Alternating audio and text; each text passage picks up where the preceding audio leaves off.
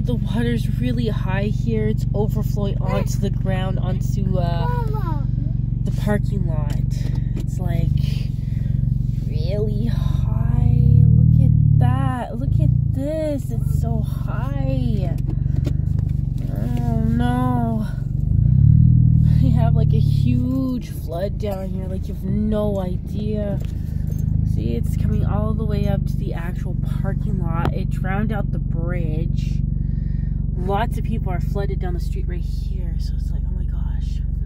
Oh, wow. That's not good.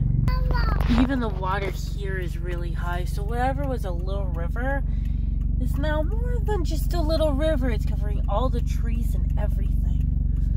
Oh, wow. That's not good. Oh, here's for lots of snow winter and lots of rain spring. Guess we're gonna have a lot of flowers this year.